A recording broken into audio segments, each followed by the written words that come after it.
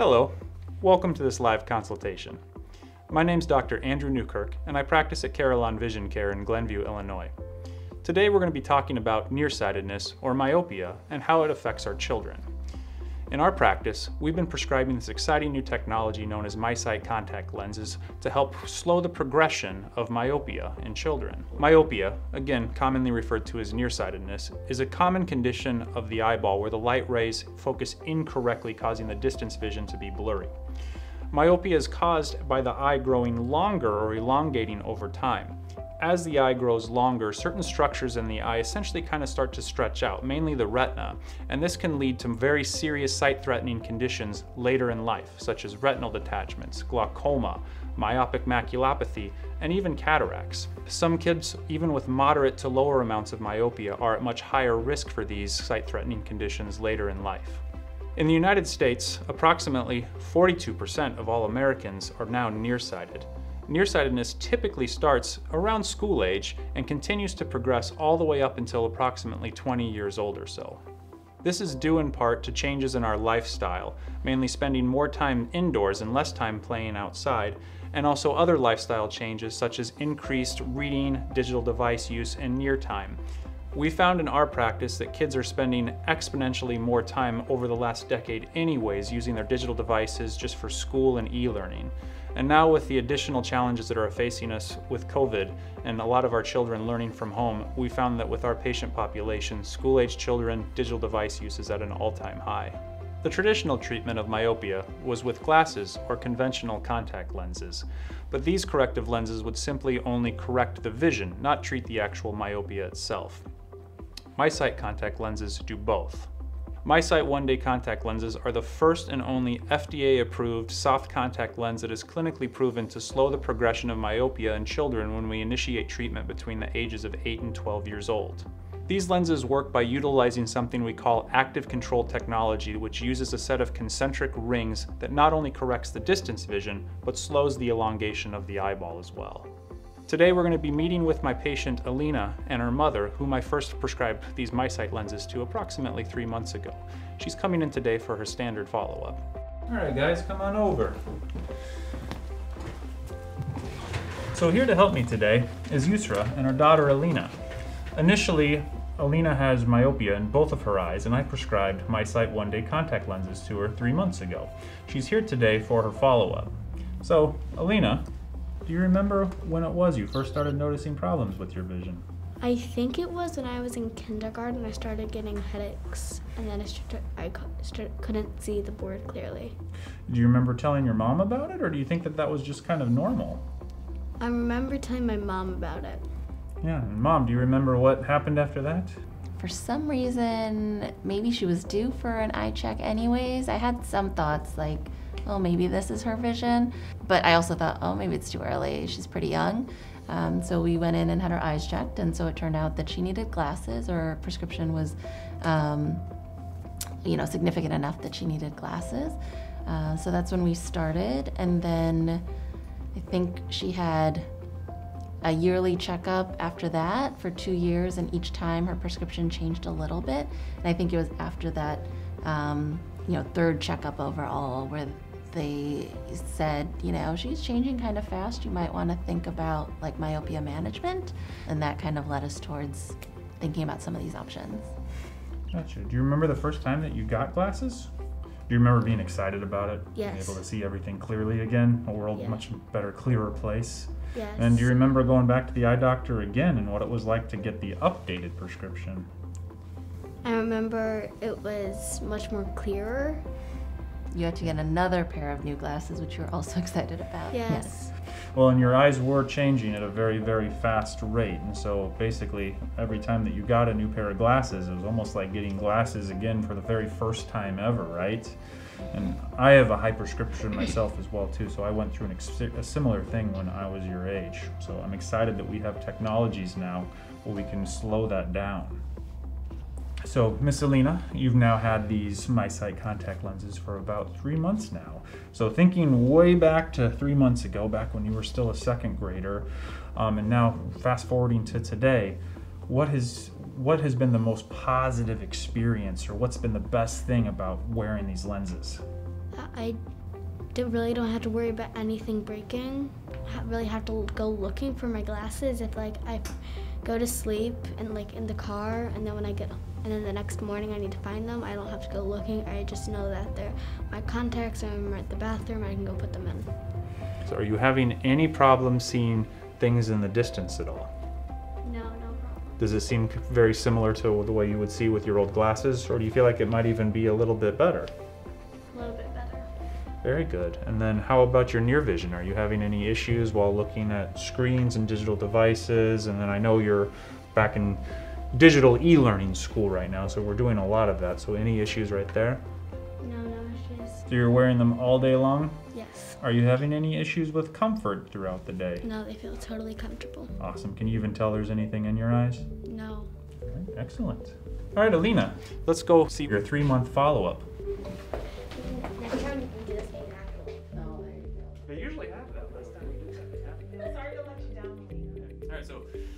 really though, so how, your vision really has been perfect with these contact lenses. Haven't Yeah. noticed any issues at all.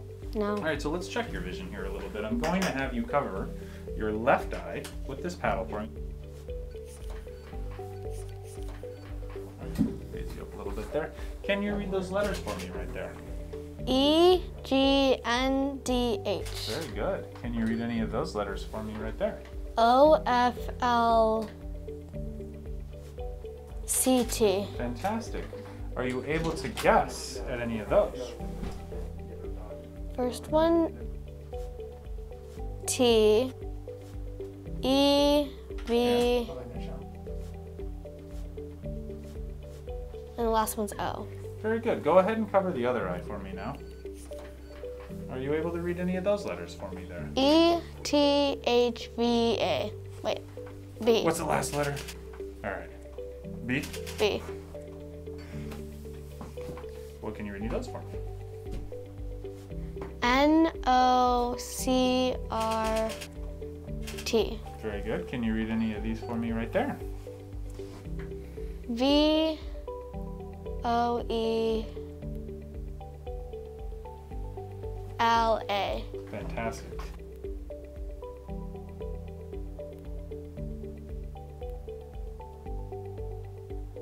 Both eyes together, can you read any of those for me right there? A P E O F. Excellent. And I would like you to guess at these letters for me right there. E V O T L. Fantastic. And we're at a perfect 2020 there. And I'm going to check your near vision as well, too. And since you're on digital devices all the time, I'd like you to read that very bottom line for me right there. Small print can be very difficult to read in poor lighting conditions. Pretty easy to see that? Yeah. I love it. Excellent. I want you to focus on that guy going fishing there for me. Where- where's the guy going fishing? light, which Oh. wouldn't have really done anything. it's so bright in here anyways. So right there, that guy in the mirror right there. Keep looking Mm-hmm. at that guy going fishing.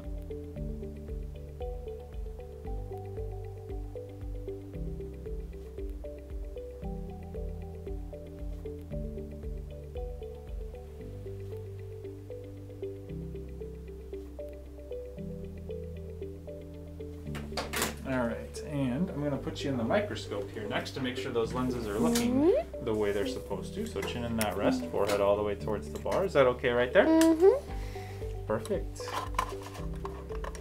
And with your eyes only, look to the left for me. And now look to the right. And look up. And look all the way to the left for me again. And to the right. And look up to the ceiling for me. Fantastic. You can go ahead and sit back for me there. And that pretty much concludes our three month follow up.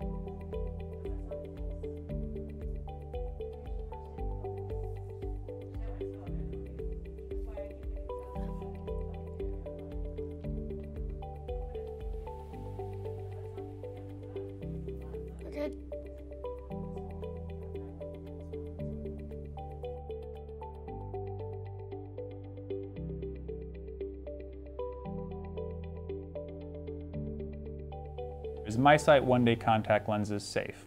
As with any contact lens, there are always slight risks of infection and inflammation, but as long as you're following the guidelines to how these are prescribed, these risks are very, very minimal. MiSight one-day contact lenses are a one-day throwaway soft contact lens. We always recommend that children always wash their hands really well before putting in or taking out or handling the lenses in any way whatsoever. My child is only eight years old. Can they really wear contact lenses? Well, as we just saw, Alina did very, very well, and we started her in this MiSight program when she was still a second grader and just barely eight years old. MiSight one-day contact lenses do have FDA approval to fit children in as early as eight years old. We've been very successful with training multiple eight-year-old patients um, to put contact lenses in and out on their own. We find that the children are very excited and motivated that want to be able to do this. Typically, 50% of our patients will tell us that contact lenses are fairly easy to put them in at the end of a week, and over 85% of our patients tell them that it's very easy to put in contact lenses after wearing them for a month. How long do you keep children in this contact lens? So the answer is we start prescribing MiSight contact lenses between the ages of 8 and 12 years old. We continue to keep children in these lenses until their prescription stops changing or stabilizes and the eye stops growing. So I've been reading about this Brilliant Futures program which also talks about MiSight. So the Brilliant Futures program is our comprehensive program for prescribing MiSight contact lenses. Not only does it in include the MiSight lenses themselves, but it involves close monitoring of your child as they progress through this program. We have a nice app that's put together so you can keep in contact with your local doctor that's prescribing these lenses, and we have a number of other tools that we can use to kind of monitor your child's growth over the next few years. How much does the Brilliant Futures or MiSight program cost? And the answer is, is that it varies by the practice. You can go on the CooperVision website to find a provider. There's a specific checkbox that you can click for the Brilliant Futures program and find who's closest to you. Then call that office and you can ask for specific pricing. How often does my child need to wear these MiSight contact lenses once they are prescribed? So MiSight contact lenses, in order to have a clinically significant difference, we need to make sure that the children are wearing them a minimum out of six out of seven days per week and at least 10 hours per day. But as we've seen in clinical practice and as you just heard from Alina, most of our patients are wearing them from the moment they wake up until the moment they go to bed, just like a lot of us adults wear our contact lenses with no issues at all. What if my child really likes their glasses and wants to wear them as well? Well, again, because of these guidelines here, and we do have a couple of young patients that really do enjoy wearing their glasses, we just have to make sure that we're adhering to those six out of seven days a week and minimum of 10 hours a day guidelines. If they want to take a break and wear their glasses one day a week, that's absolutely fine. So how are MiSight lenses different from a regular contact lens? So conventional contact lenses just correct the distance vision. They don't actually do anything to treat the myopia. The MiSight lenses have that active control technology which corrects the distance vision, but it also acts to slow the growth, the physically elongation of the eyeball. I am myopic, but my child's myopia is already increased past mine. Why is this? Well, that's a very good question. So genetics play a large role when determining if a child is going to become my myopic or not. If one or both parents have myopia, certainly the child is much more likely to develop this. Also, lifestyle is playing a large role here. The amount of time spent outdoors, or rather the reduced amount of time our kids are spending outdoors, the increase in near work, and also how close they're holding devices. This look familiar to anybody? Up to them, and also the amount of time that they're spending doing their near work all lead to the progression of myopia. So thank you everybody. Please visit coopervision.com to learn more about the Brilliant Futures Myopia Management Program and the MiSight one-day contact lenses.